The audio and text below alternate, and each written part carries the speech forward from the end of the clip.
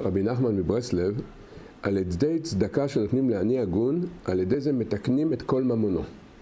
ואזי נתגלה על ידי ממונו גוונין עילאין, שהם עיקר התגלות הבורא יתברך. ועל ידי זה מכניעים ומשברים קליפות, דמיונות, בלבולים, תאוות ומניעות שמתגברים על האדם. אומר רבנו שכשאדם נותן צדקה, על ידי זה הוא פועל פעולה רוחנית מאוד גבוהה, שובר מסכים בינו, בינו לבין הקדוש ברוך הוא, ועיקר המסכים היום זה דמיונות.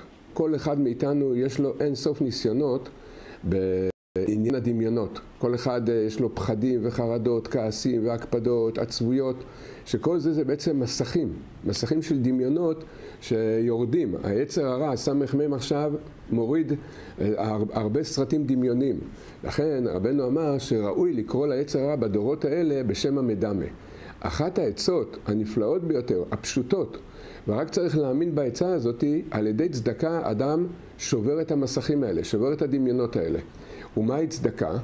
הכוונה כמה צריך לתת, איך צריך לתת. אומרת הגמרא, אחד המרבה ואחד הממית, ובלבד שיכוון ליבו לאבינו שבשמיים. צדקה זה לא חייב להיות הרבה, זה יכול להיות אפילו שקל, חמש שקל, עשר שקל, רק שאדם ירבה לתת צדקות. ואם אדם אין לו הרבה כסף, אז שיעשה את זה במעט כסף.